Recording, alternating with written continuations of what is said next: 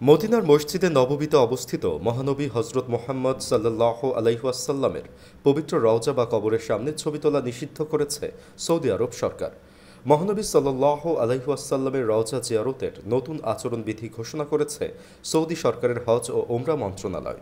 আচরণবিধিতে ছবি তোলা সহ বেশ কিছু বিষয় বিধিনিষেধ আরোপ করা হয়েছে।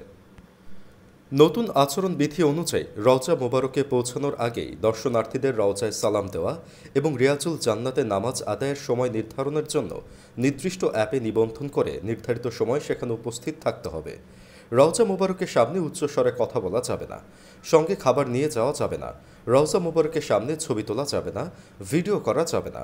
একই সাথে রওজা মোবারকের সামনে বাড়তি সময় অবস্থান করাও নিষিদ্ধ করা হয়েছে। এদিকে সৌদি সরকারের এই সিদ্ধান্তকে স্বাগত জানিয়েছে বিশ্বের মুসলমানরা। সামাজিক যোগাযোগ মাধ্যমগুলোতে মুসলিমরা মহানবী সাল্লাহ আলাইহাসাল্লামের রওজার ছবি তোলার ওপর নিষেধাজ্ঞা দেওয়ায় সৌদি সরকারকে ধন্যবাদ জানিয়েছেন। একই সাথে পবিত্র কাবা চত্বরেও ছবি তোলার ওপর নিষেধাজ্ঞা আরোপ করতে সৌদি সরকারের প্রতি দাবি জানিয়েছেন ধর্মপ্রাণ মুসলিমরা।